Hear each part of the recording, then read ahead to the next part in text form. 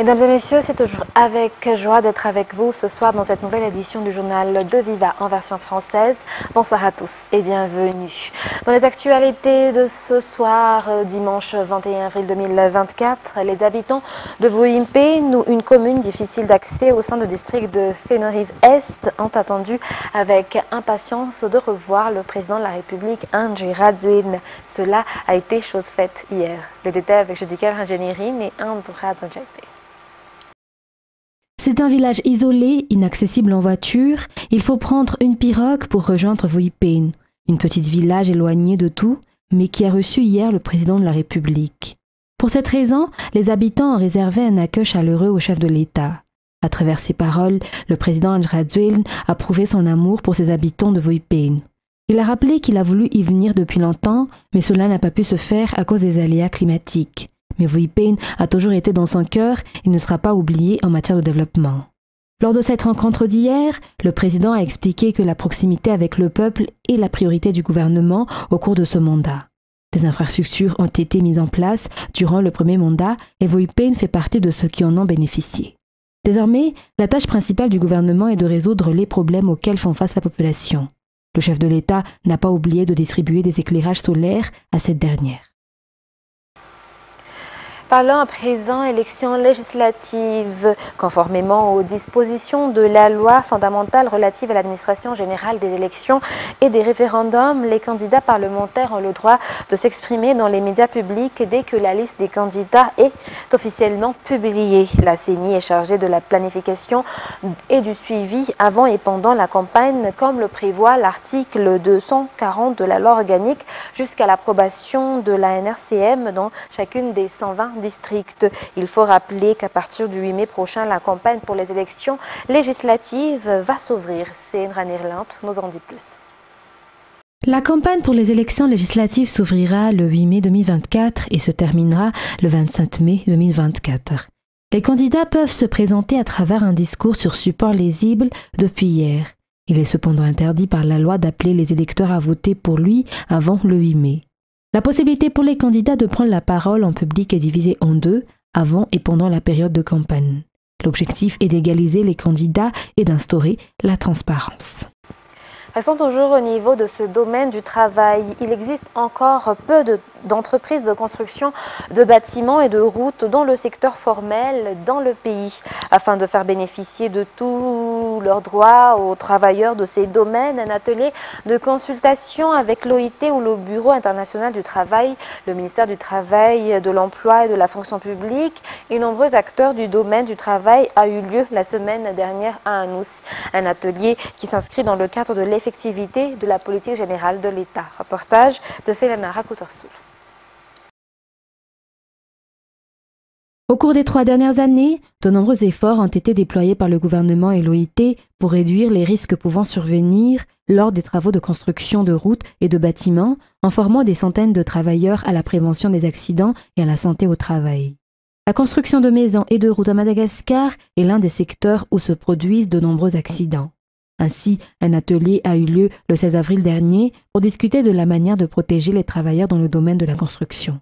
L'objectif est d'offrir aux travailleurs de ce secteur un travail décent, préservant la santé et leur bien-être social.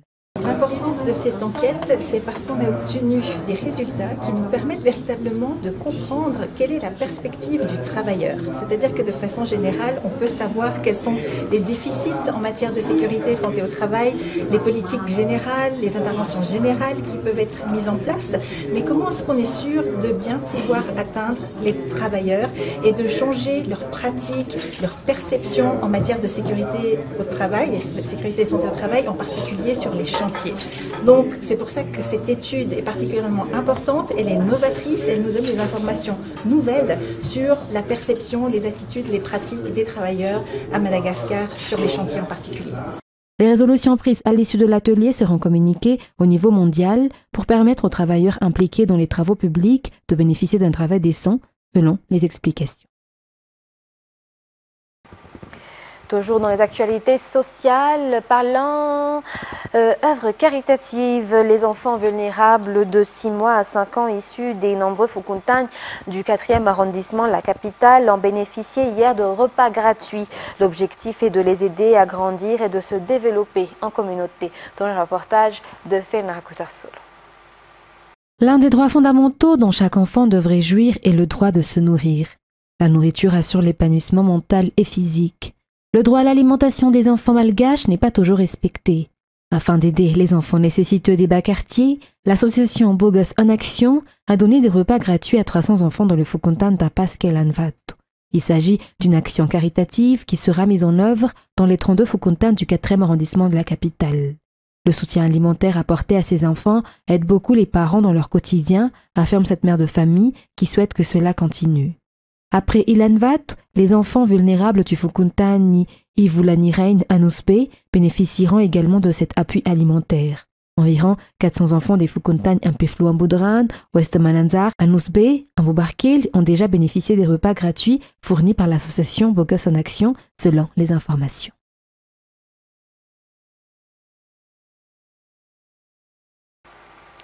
Et dans la page sportive de ce soir, Miti Voavi Indjain a réalisé une bonne performance lors du championnat d'Afrique féminine de moins de 16 ans qui s'est déroulé cette semaine à Alger. Miti Voavi ne s'est inclinée qu'en demi-finale. Elle a battu la Tunisienne Atik Sara par 2-7 à 0, 6 1 et 6-0 lors des tours préliminaires. Elle obtient le ticket vers les quarts de finale en battant la Camerounaise Fozo Charmel par 7 à 0 également, 6-1 euh, et 6-0. Et lors de la demi-finale, Miti a été battue par l'Égyptienne Mustafa Fa'a euh, sur le score de 2-7 à 0. À noter qu'il y avait eu 32 concurrentes à ce championnat d'Afrique de tennis des filles de moins de 16 ans. Miti Wav Ingen figure ainsi parmi les quatre premières. Parlons à présent football à l'issue de la septième journée du PFL, le championnat de Madagascar de première division qui s'est déroulé cette semaine. L'ensemble des huit équipes qualifiées pour les quarts de finale sont connues. À noter que les quarts de finale débuteront le 28 avril. Anzara Zonarville. Après la septième journée, les quatre premières équipes de chaque groupe se sont affrontées pour le PFL ou championnat de Madagascar de première division dans le domaine du football. Dans le groupe Nord, Conférence du Nord, Foussa Junior 18 points, Asadiana 17 points, Fanalamank 13 points et Tsaramandjous FC 13 points. Voici les quatre premières équipes qualifiées pour les quarts de finale. Uskafoot 10 points, Kosfa 4 points, KFC Adiana 4 points, Adjesaya 1 point. Pour ceux du groupe Sud, Conférence Sud, Disciple FC 15 points, Egeco Plus 13 points, Zanakala FC 10 points et 3FB Touliard 10 points. FCFA 9 points, Mama FC 9 points, Datou FC 6 points, FC Inet Rouge 5 points. Les quarts du final du PFL auront lieu le 28 avril prochain et les équipes ayant été dans un même groupe ne se rencontreront pas.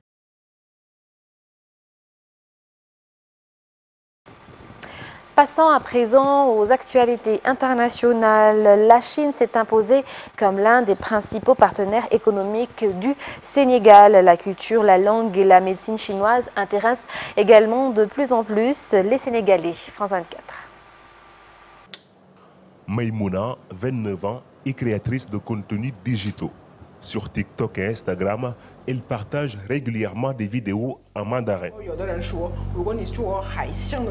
Elle est amoureuse de la langue chinoise après avoir fait 8 ans en Chine. Les gens sont toujours étonnés. Déjà, on m'appelle Shintok. Après, on me dit, mais comment tu as fait? C'est pas possible. Donc, j'ai toujours eu des retours très positifs euh, par rapport à la langue, franchement. Et c'est une langue que j'aime beaucoup parler, que j'adore. Une passion de la langue partagée avec Awa.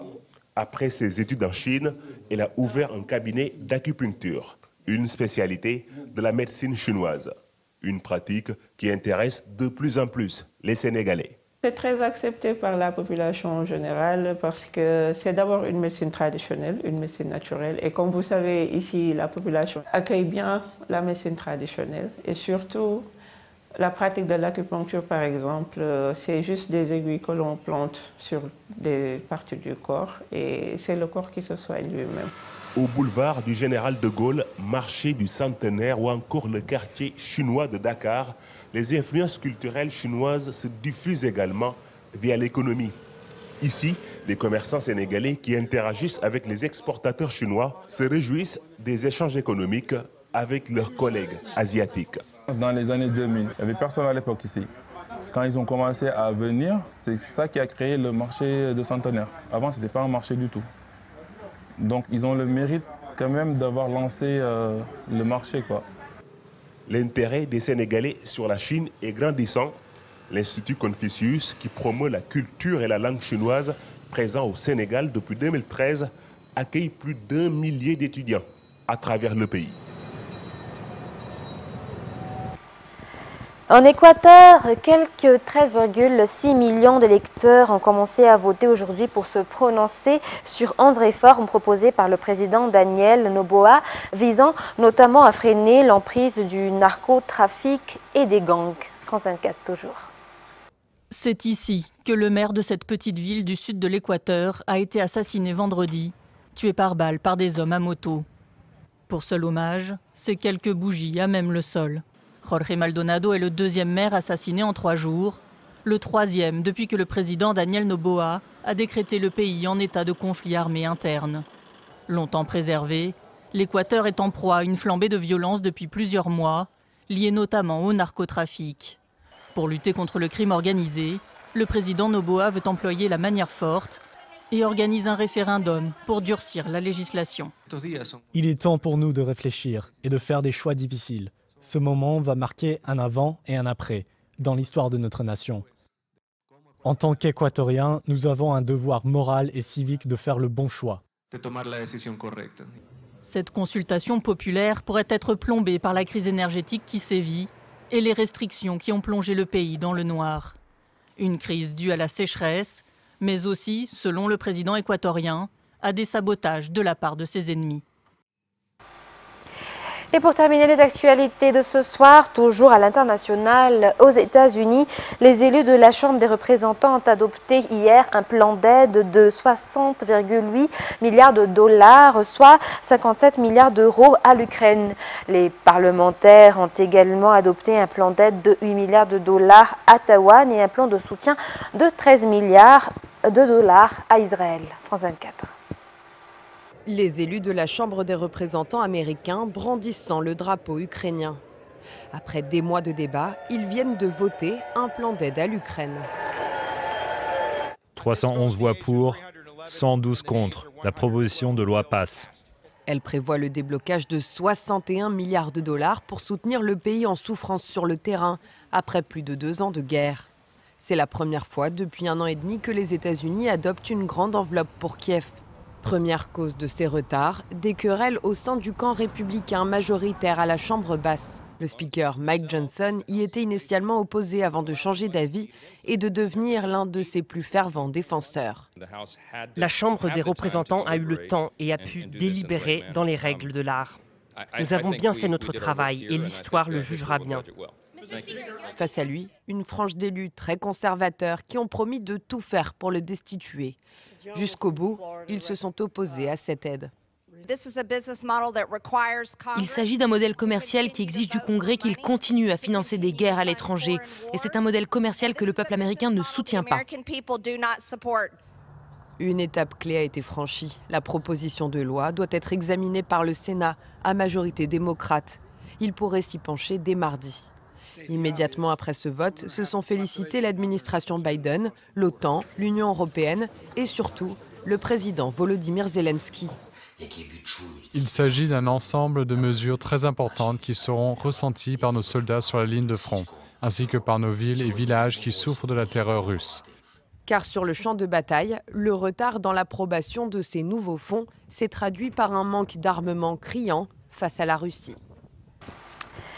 Mesdames et messieurs, ainsi s'achève cette édition pour ce soir. Nous vous remercions de votre fidélité. Très bonne continuation et très bonne soirée à tous sur Viva. Au revoir.